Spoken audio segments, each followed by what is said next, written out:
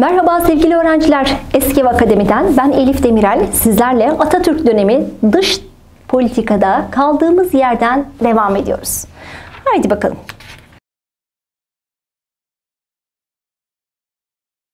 Milletler Cemiyeti'ne giriş. Sevgili öğrenciler, Milletler Cemiyeti ABD Başkanı Wilson'un ilkelerine dayalı olarak Birinci Dünya Savaşı'ndan sonra dünya barışını sağlamak amacıyla kurulmuştu. Bir zaman sonra yalnız büyük devletlerin çıkarlarını korumak gibi bir tutum içine girdiler. E, Türkiye Musul sorununda taraflı bir tutum sergilemesinden dolayı da bu cemiyete girmemişti. Fakat barışçı bir dış politika izleyen Türkiye Hatırlayın hemen şöyle bir hatırlatma yapayım. Yunanistan'ı ile aramızda bir nüfus mübadelesi sorunu vardı. Hatırladınız mı? İşte ve Türkiye bu nüfus mübadelesi sorununda barıştan yanı olduğunu göstermişti. E, öyle olunca Yunanistan da Türkiye'ye Milletler Cemiyeti'ne girmesi konusunda ne yaptı? Destek oldu. Ve bu Milletler Cemiyeti için sevgili arkadaşlar hemen şöyle göstereyim size. İspanya'nın teklifi Yunanistan'ın desteğiyle davet edildi ve Türkiye'de 1932 yılında Milletler Cemiyeti'ne üye oldu. Peki hedefimiz ne buradaki? 1. Barışa katkıda bulunmak. 2. Sınırlarımızı güvence altına almak. 3. Uluslararası işbirliğinde bulunmak diyoruz. Bu bizim barıştan yana olduğumuzu ispatlar diyoruz. Hadi bakalım Atatürk dönemi Türk dış politika devam ediyoruz. Balkan Antantı. 1934. Arkadaşlar İkinci Dünya Savaşı yaklaşıyor kapıda. Almanya ve İtalya'nın yayılmacı ve saldırgan tutumuna karşı Türkiye batı sınırını güvence altına almak istedi. Ve komşularıyla saldırmazlık anlaşması yaptı. Neymiş? İkinci Dünya Savaşı'ndan önce kimlere karşı? İtalya ve Almanya'nın özellikle Balkanlarda yayılmacı ve saldırgan politikalarına karşı. Hangi devletler katıldı? Türkiye var mı? Var. Yunanistan, Yugoslavya, Romanya yani dört devlet katılıyor sevgili arkadaşlar. Peki Türkiye bu anlaşmayla neyi hedefledi? Arkadaşlar batı sınırını güvence altına almış oldu. Aynı zamanda barıştan yana olduğunda ispat etmiş oldu sevgili arkadaşlar. Devam ediyoruz. Atatürk dönemi Türk dış politikası. Montreux Boğazlar Sözleşmesi. Şimdi sevgili öğrenciler, Montreux Boğazlar Sözleşmesi. Gelelim boğazlarımızın durumuna. Montreux nerede bu arada? Hemen söyleyeyim. İsviçre'de bir kent. Montreux denilen bir kentte yapılıyor. Şimdi Lozan Barış Anlaşması'na göre boğazlarımızın durumu belli olmuştu. Neydi? Boğazları başkanı Türk olan uluslararası bir komisyon yönetecekti. Şimdi arkadaşlar bu durum bizim egemenliğimize ve bağımsızlığımıza ters bir durum. E, boğazlar dediği burnumuzun dibindeki yer. Başkanı Türk olan olsun uluslararası bir komisyon ne demek? Bu çok ciddi egemenliğimize gölge düşürüyordu. Ve sadece bu değil, aynı zamanda boğazların iki yakası da silahsızlandırılacaktı. Peki neden boğazlarla ilgili tekrar bir düzenleme yapmak istedik? Söyleyeyim. Arkadaşlar 2. Dünya Savaşı yaklaşmak üzere devletler silahlanma yarışına girdi. İtalya Habeşistan'a saldırdı. Milletler Cemiyeti barışı korumada yetersiz ve boğazlar savunmasız kaldı. Bunun üzerine Türkiye Montreux Boğazlar Konferansı düzenledi. Nasıl oldu arkadaşlar? Şimdi Avrupalı devletlerin silahlanması, Milletler Cemiyeti'nin barışı koruyamaması söyledik ya. İtalya'nın saldırması durumunda 2. Dünya Savaşı çıktı çıkacak yani. Anlaşıldı ki 2. Dünya Savaşı çıkıyor. E şimdi Lozan konferansında bu Lozan Barış Anlaşması'nı imzalayan devletlere birer nota gönderdi Türkiye. Ve dedi ki Boğazlar'la ilgili yeniden bir konferans istiyorum. Konferans toplanmasını talep etti. Hemen konferans toplandı. Hangi devletler? Ben size onu da söyleyeyim. Burada yazmadım ama bildiğim size. Arkadaşlar Türkiye var. Zaten bizimle ilgili mesele. Bulgaristan, Yunanistan, İngiltere, Fransa, Sovyet Rusya, Japonya, Yugoslavya ve Romanya var. Bu konferansın sonu çok önemli. Neden? Çünkü bu konferansın sonunda Boğazlar Komisyonu kaldırıldı arkadaşlar. Bu çok önemli. Çünkü Türk egemenliği Boğazlar Konferansı'nın komisyonunun kaldırılmasıyla sağlanmış oldu diyoruz. Bu komisyonun tüm görev ve yetkileri nereye bırakıldı? Türkiye'ye bırakıldı. Ha yalnız şunu da söyleyeyim. Boğazlardan ticaret gemileri serbestçe geçecek. Savaş gemilerine de sınırlama, belli bir kısıtlama gelecekti. Haberiniz olsun. Montreux Boğazlar Sözleşmesi de bu şekilde sevgili arkadaşlar. Devam ediyoruz. Hadi bakalım. Gelelim Sadabat Paktı'na. 1937 yılında sevgili arkadaşlar yine Birinci Dünya Savaşı öncesinde İtalya'nın saldırgan tutumundan sonra Orta Doğu'ya İtalya'nın bir yayılma politikası var. Bunun üzerine Türkiye Doğu ve Güney sınırını koruma altına almak istedi ve hangi devletlerle? Türkiye, Afganistan, Irak ve İran bir araya geldiler. Bir saldırmazlık anlaşması yaptılar ve bu anlaşmayla devletler birbirlerinin sınırlarını koruyacaklarını ilan ettiler arkadaşlar. Bu çok güzel, çok önemli bir şey.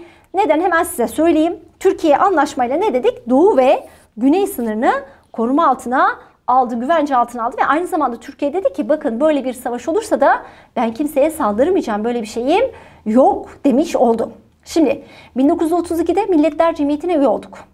34'te Balkan Antantı'na katıldık. 37'de Sadabat Paktı.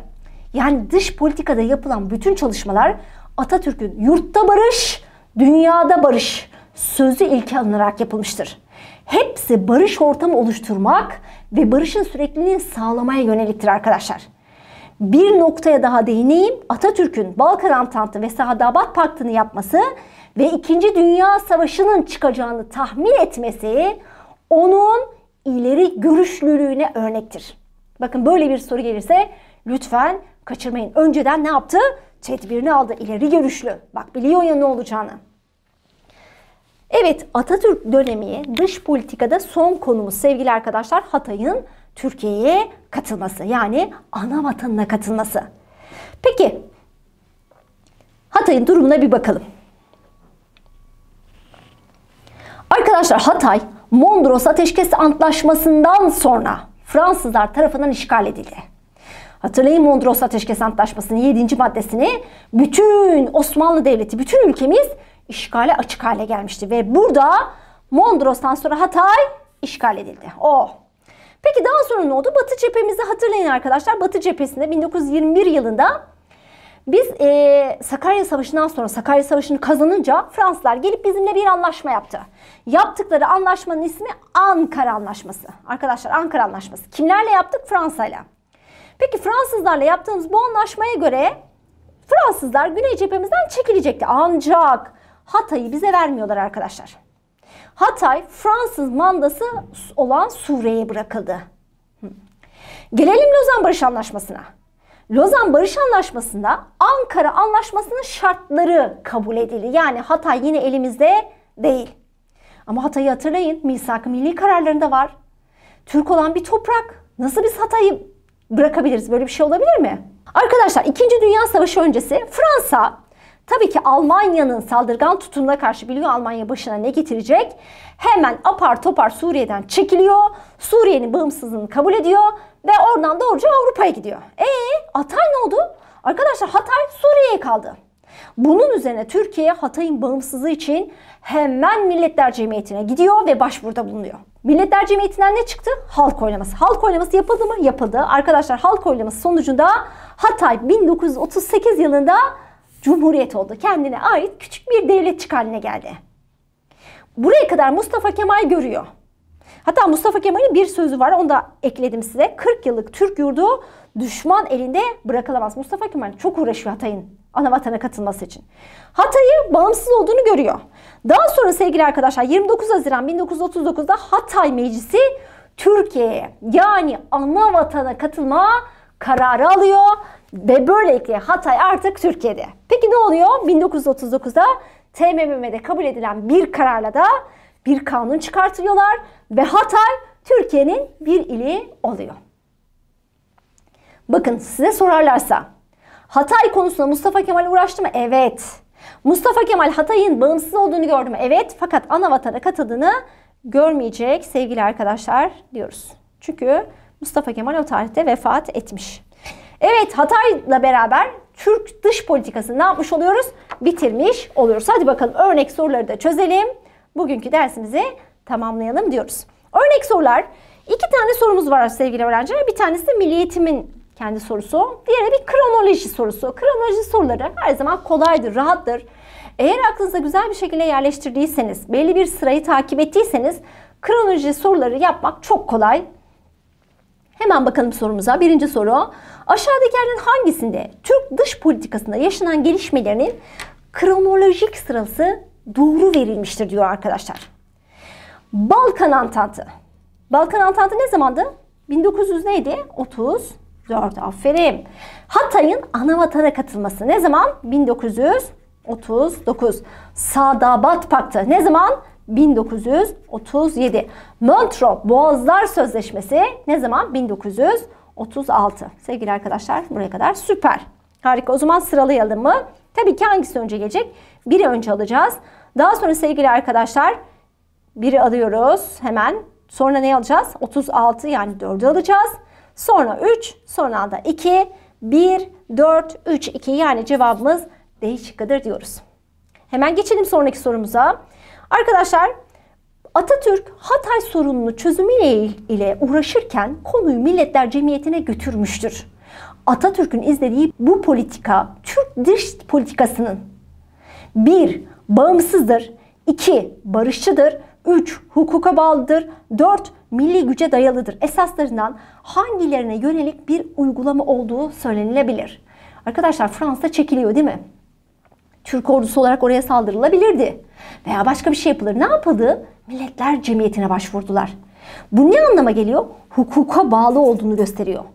Hukuka göre hareket etmişler. Prosedür neyse onu uygulamışlar. Peki başka? Aynı zamanda barıştan yanı olduğunu da gösterir bu. O halde cevabımız 2 ve 3 sevgili arkadaşlar. Cevap C şıkkıdır diyoruz. Burada dersimizi bitiriyoruz. Bizi dinlediğiniz için çok çok teşekkür ederim. Eski Akademi'de kalın ve sağlıkla kalın. Hoşçakalın.